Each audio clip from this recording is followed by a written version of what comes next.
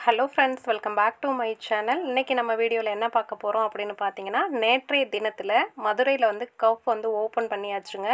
so அங்கே வந்து பார்த்திங்கன்னா மக்கள் எந்த அளவுக்கு சந்தோஷத்தில் இருக்கிறாங்க அப்படிங்கிறதையும் அதே சமயத்தில் எம்டி சார் வரும்போது அவங்கள வந்து எந்த அளவுக்கு ஆரவாரத்தோட வரவேற்கிறாங்க அப்படிங்கிறதை தான் நாம் வந்துட்டு இந்த வீடியோவில் பார்க்க போகிறோம்